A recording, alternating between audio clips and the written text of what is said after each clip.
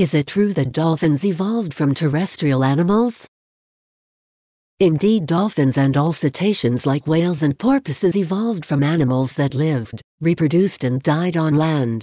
In fact, their closest relative alive is the hippopotamus, which in turn also relates them to the artiodactyls.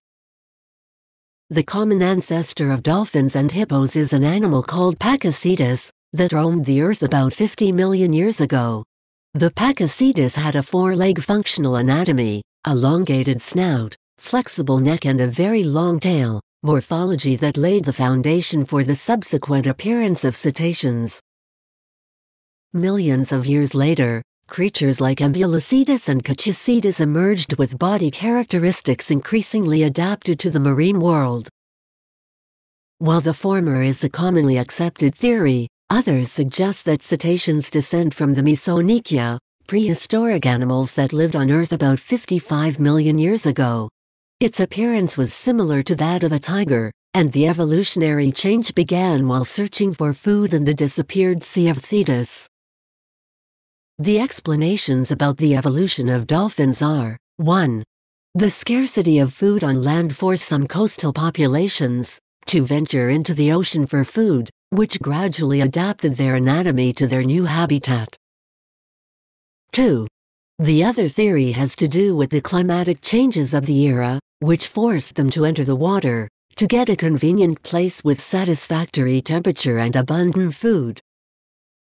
Several indicators confirm that dolphins evolved from terrestrial animals, and these are the most evident. 1. They have a robust bone structure rather than a cartilaginous skeleton like sharks or fish.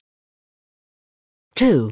They are mammals because they feed their young with breast milk from the mother. 3. Dolphins breathe air like us. They cannot breathe underwater like fish because they have lungs instead of gills. 4.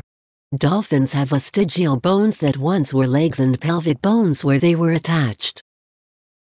5. These cetaceans are warm-blooded. Even that some scientists still debate about the dolphin ancestors and their relation with other species, there are enough probes to confirm that these cetaceans undoubtedly descend from terrestrial animals. Follow us in the social networks Twitter, Facebook, YouTube, Pinterest, Google+, SoundCloud and others. For more information visit bioexpedition.com.